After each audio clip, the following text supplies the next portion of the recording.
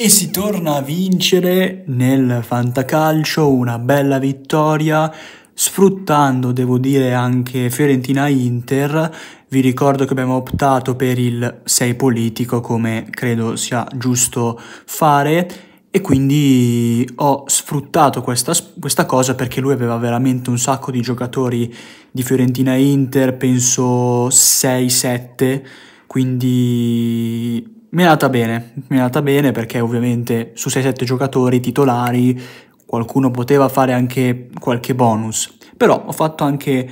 eh, bene con questo 74, lui 67 con anche il 0,5 di modificatore difesa, Sommer gli ha preso 6, Bijol non ha giocato ma è entrato Emerson Royal 6,5, forse primo 6,5 della storia di Emerson Royal col Milan, Kolasinac ha ammonito 5,5 e poi una sfilza di 6 politici, Acerbi, Dumfries, Ederson non politico perché ha giocato eh, a Roma, Frattesi, Colpani, Gudmundsson e poi 7 di Leao e 5,5 di Lukman. Come dicevo io un onesto 74, mi reputo soddisfatto, in porta non ha giocato di Gregorio e un po' lo sospettavo ma eh, è entrato Perin che ha preso 5, dall'altro gol preso al 93esimo, se no eh, mi aveva fatto porta inviolata però Amen, Bastoni 6, anche lui 6 politico, 5,5 Valeri, 6 Alberto Moreno e 6,5 Dorgo che comunque il suo lo fa sempre, non benissimo però una difesa che mi ha portato 0,5 in più. A centrocampo me la trascina Orsolini, gol e assist, 11,5, contentissimo eh, per lui. 6 politico di Barella, 6 anche di Strefezza e di Toven, davanti segna il Pinamonti 10 e poi Bonni abbastanza male 5 con l'ammonizione, però Devo dire, ripeto, contento, un'onesta vittoria e la classifica a questo punto è ancora molto molto corta perché ovviamente il settimo posto dista poco dal, dalle prime posizioni e adesso ci saranno anche tanti scontri diretti, scontri eh, comunque che potrebbero cambiare le sorti di questa classifica in, uh, in poco tempo, da una giornata all'altra. Andiamo adesso in Serie B, vediamo un po', io non ho visto cosa ho fatto perché lo scopro sempre quando faccio il video cosa, eh, cosa ho fatto in Serie B, Fantacalcio giustamente lo so, ho fatto 148 punti questa giornata,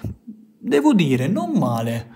non male 148 punti. Non male, ho preso la Cremonese perché io eh, ho puntato su Strop col Südtirol, Cremonese che ha vinto 4-0 quindi andata bene, 24 punti. Eh, poi non benissimo in difesa, l'unico Pieragnolo che ha fatto un discreto punteggio, gli altri nulla di che. Anche a centrocampo in realtà, forse solo Palumbo ha fatto qualco, cioè, qualcosina,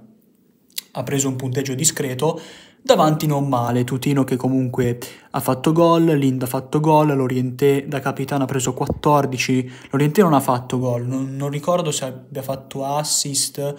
eh, non penso però, ehm, comunque da capitano il punteggio aumenta, quindi poi ha preso, ha preso 14. Vediamo un po' a questo punto come diciamo siamo messi in classifica. In totale siamo in questa classifica qui generale 340 su 858